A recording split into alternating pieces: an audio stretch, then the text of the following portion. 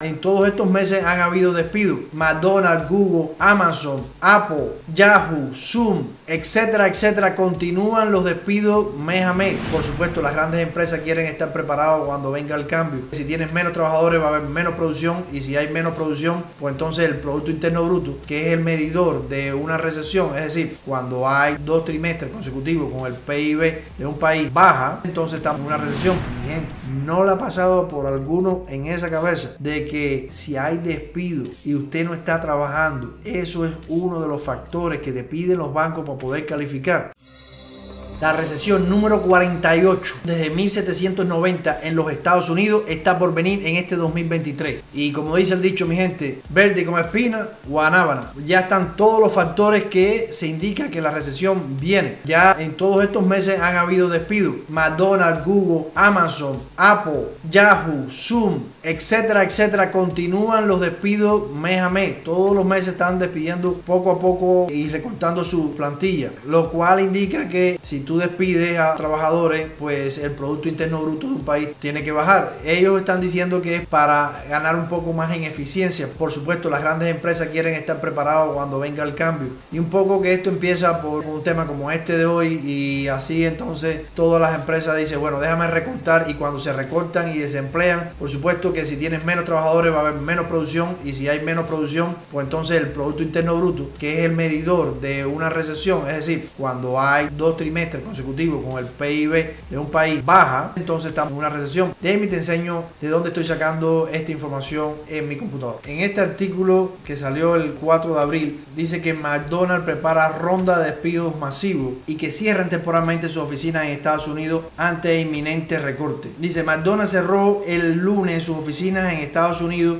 hasta el miércoles e informó a su personal corporativo que trabaje desde casa mientras se prepara para anunciar una ronda de despido. En un memo dirigido a sus empleados publicó en el sitio web de layoff.com, la cadena de hamburguesas con sede en Chicago señaló que quería garantizar la comodidad y la confidencialidad de nuestra gente durante el periodo de notificación y que sostendría todas las juntas de notificación de manera virtual, es decir, por Zoom. Pidió al personal corporativo internacional que siga los lineamientos de sus regiones. Y sigue la noticia donde dice, funcionarios de la Reserva Federal han pronosticado que la tasa de desempleo podría aumentar al 4.6% para finales de este año, un notable incremento que relaciona históricamente con la recesión. McDonald's tiene más de 150 mil empleados en puestos corporativos y en restaurantes propiedad de la empresa. Alrededor del 70% de estos puestos se encuentran en los Estados Unidos. Las acciones de McDonald's subieron poco menos de 1%. Los ingresos de la compañía permanecieron fijos en 23.200 millones durante todo el 2022, pero sus ingresos netos cayeron el 18% en parte debido a la venta de sus operaciones en Rusia, con todo este problema que hubo con, con Rusia. Bueno, mi gente, como están viendo acá, dice que la tasa de desempleo según la Reserva Federal puede aumentar al 4.6%, lo cual indica que es algo parecido a lo que pasa cada vez que hay una recesión. Según tenemos acá un anexo de recesiones en los Estados Unidos de Wikipedia, dice que ha habido hasta 45 recesiones en los Estados Unidos desde 1790. Aunque dicen que hay economistas debatiendo que posiblemente haya una que otra más. Yo quiero que ustedes vean lo que dura una recesión históricamente. Aquí está, duración en meses sería la tercera columna, 8 meses, 11 meses, 10 meses, 10 meses, 11 meses. Y este es el tiempo que se pasa entre una recesión y la otra. Entonces aquí se duró un año, 4 años, 6 años, 3 años, 9 meses. Como estamos viendo, las recesiones no duran tanto y si hay un periodo hasta de 6 a 10 años. No fue hasta la crisis del coronavirus en febrero del 2020 donde no se pone una fecha porque solamente fue un trimestre que bajó el PIB, el Producto Interno Bruto, en febrero por el tema del coronavirus. Y como ustedes saben, toma dos trimestres para decir que es una recesión,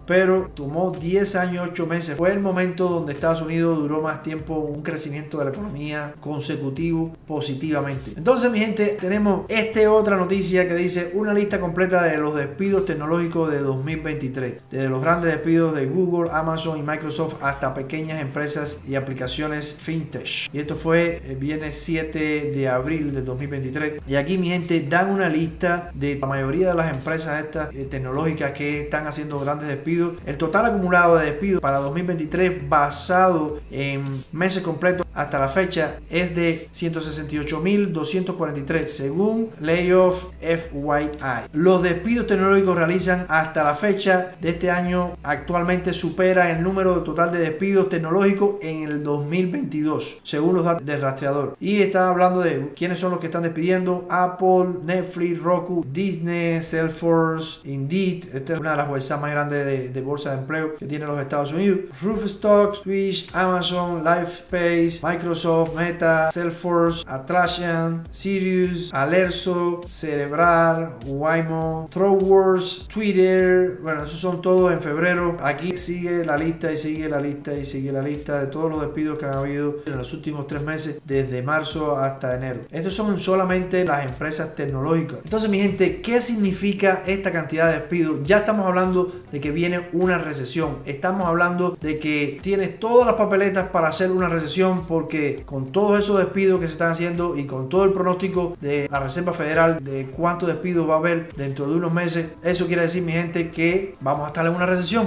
Tiene un gran potencial para que influya en la disminución de los precios de las casas. Pero, mi gente, estoy seguro que muchas de las personas que están viendo este video dicen, bueno, pues entonces vamos a comprar las casas más baratas. Mi gente, no la ha pasado por alguno en esa cabeza de que si hay despido y usted no está trabajando, eso es uno de los factores que te piden los bancos para poder calificar. Es por eso mismo que mucha gente no va a poder comprar casa. Es por eso mismo que entonces las casas bajan de precio porque nadie va a poder calificar. Para que un banco te haga un préstamo, primero tiene que estar trabajando. Segundo, tus ingresos tienen que estar estables. Es decir, que si usted dejó de trabajar por uno o dos meses con un despido de estos masivos y después se reincorporó, posiblemente no califique. Por eso es que yo le he dicho que el mejor momento para comprar casa es cuando usted pueda. Si los precios bajan y usted todavía está trabajando, cómprese una segunda o una tercera casa. Simple. Eso es lo que estoy esperando. Fíjense en este video donde yo digo por qué yo me compro dos casas todos los años. No me importa qué es lo que pase, porque cada vez que hay un mercado, sea de vendedores, sea compradores, va a haber unas ventajas y otras desventajas. La razón por la que cayó los precios de las casas en el 2007-2008 no tiene nada que ver con lo que está pasando en estos momentos y que va a ser parecida a la recesión del 2023. Por lo tanto, no va a haber esa disminución en precio. Si te enseño la gráfica donde podemos ver las estadísticas de los precios de las casas si suben o bajan, nos damos cuenta que sí ha bajado grandemente desde el año pasado, mayo, junio del 2022, notablemente el precio de las casas, pero de diciembre de 2022 hasta marzo del 2023 los precios siguen exactamente igual, pero posiblemente con esta medida yo pienso que vaya a bajar un poquito más. Si vamos a ver todo lo que ha subido en los últimos 14 años desde prácticamente desde el 2012 hasta el 2022 fueron 10 años completos de subida de los precios de las casas y realmente no creo que vaya a pasar lo mismo que pasó acá. Si se fijan en esta tabla que es el precio medio de las casas vendidas en todos los Estados Unidos, esta fue la recesión del 2007-2008, es decir, no se ve tanto y esta fue la mayor en los últimos 100 años. No creo que va a pasar lo mismo, aunque sí se va a notar que va a bajar un poco los precios de las casas a nivel de los Estados Unidos también, al menos eso es lo que se está esperando, pero no va a ser como esto, yo creo que va a bajar, no sé, unos 60, 70 mil dólares. Y es que para que ustedes vean acá cómo fue que incrementó los precios de la casa por el tema de la pandemia,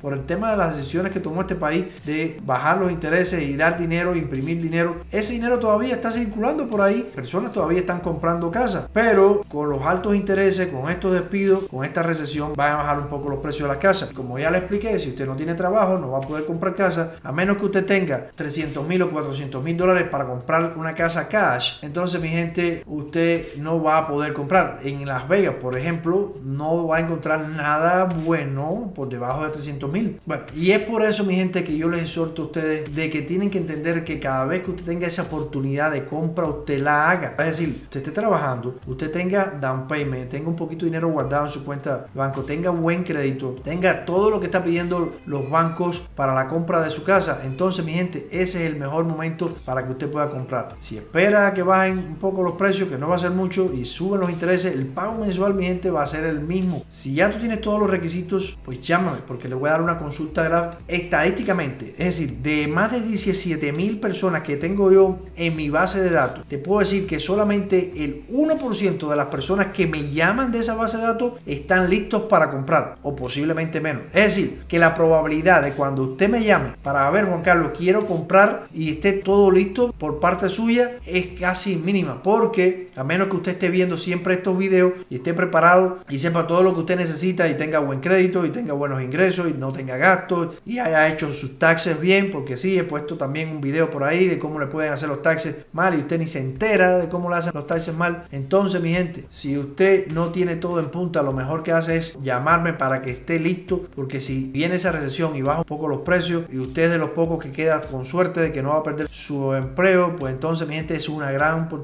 para que usted pueda comprarse una segunda o tercera casita o por lo menos compre si usted no ha comprado nunca su casa, pues llámenos para que le podamos ayudar con los programas de primeros compradores. Eso ha sido todo por hoy mi gente. Si usted no le ha dado un like a este video y llegó hasta aquí, pues yo creo que es el momento para que le dé ese like, porque eso nos va a ayudar, eso es lo que nos pide YouTube para darle más recomendación de estos videos a otras personas. Yo por mi parte me comprometo a seguirle informando cada vez que encuentre este tipo de información que les pueda servir para estar informado, para saber qué es lo que tengo que hacer cuando venga esa recesión. Yo voy a estar tomando algunas medidas y se las voy a estar compartiendo acá. Entonces mi gente, gracias. Recuerden que mi nombre es Juan Carlos Carrera, soy real estate e ingeniero aquí en Las Vegas pero esta información posiblemente le sirva para muchos otros estados. Y recuerde que estos videos salen de lunes a viernes a las 12 del día, así que nos vemos en un próximo video. Chao.